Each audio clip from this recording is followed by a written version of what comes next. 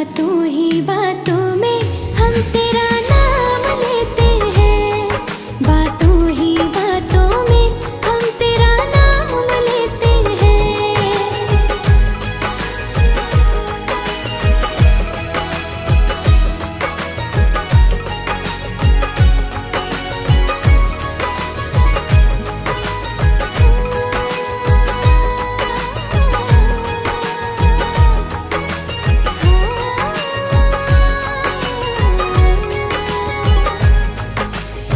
मुझको तेरी अब वफा मिल गई है।